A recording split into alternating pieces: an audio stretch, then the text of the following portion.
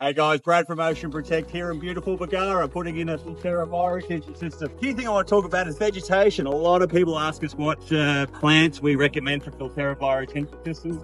We've got Mac Mini here, the Callistemon here.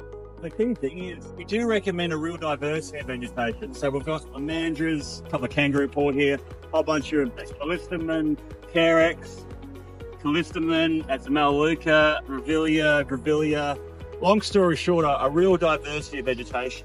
Why? Because it's good for the bioretention system.